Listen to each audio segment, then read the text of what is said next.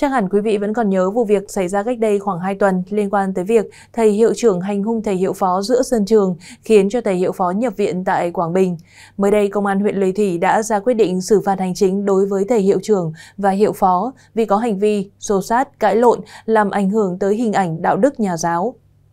Công an huyện Lệ Thủy xác định hành vi của ông Tuấn chưa cấu thành tội phạm nên không bị truy cứu trách nhiệm hình sự, do đó đã ra quyết định xử phạt hành chính của ông Phan Anh Tuấn, sinh năm 1973, hiệu trường trường tiểu học Ngư Thủy Bắc, huyện Lệ Thủy, với số tiền là 6,5 triệu đồng vì có hành vi đánh ông Lê Đức Huấn làm ông Huấn bị thương tích. Đồng thời, Công an huyện Lệ Thủy cũng đã ra quyết định xử phạt hành chính ông Lê Đức Huấn, sinh năm 1974, phó hiệu trưởng với số tiền là 400.000 đồng vì có hành vi dùng tay đập vào nắp capo xe ô tô của ông Phan Anh Tuấn, cãi vã, to tiếng gây mất trật tự tại trường tiểu học Ngư Thủy Bắc. Được biết, Ủy ban Kiểm tra huyện Lệ Thủy cũng đã có quyết định kiểm tra khi có dấu hiệu vi phạm đối với tri ủy tri bộ trường tiểu học Ngư Thủy Bắc. Cá nhân ông Phan Anh Tuấn, bí thư tri bộ, hiệu trưởng trường tiểu học Ngư Thủy Bắc, ông Lê Đức Huấn, phó bí thư tri bộ, phó hiệu trưởng trường tiểu học Ngư Thủy Bắc.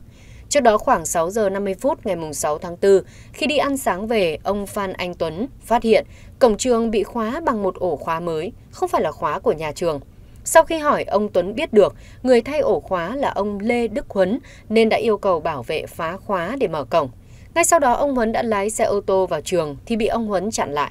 Trong lúc tranh cãi nóng giận, ông Tuấn đã dùng tay đánh mạnh vào vùng mặt của đồng nghiệp, khiến cho người này bị thương, phải vào trạm y tế sơ cứu, rồi lên bệnh viện đa khoa huyện Lệ Thủy để điều trị. Sau khi sự việc xảy ra, ông Tuấn đã gặp và xin lỗi ông Huấn, đồng thời hứa sẽ chi trả toàn bộ chi phí khám chữa bệnh cho thầy giáo này.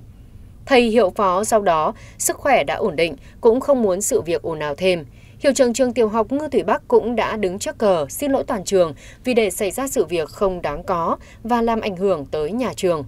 Mâu thuẫn trong đời sống hàng ngày là điều khó tránh khỏi, nhưng không phải ai cũng biết cách xử lý những mâu thuẫn ấy một cách văn minh, khéo léo. Trước những mâu thuẫn cần bình tĩnh giải quyết, không nên lăng mạ, dùng vũ lực với người khác để tránh xảy ra những sự việc đáng tiếc.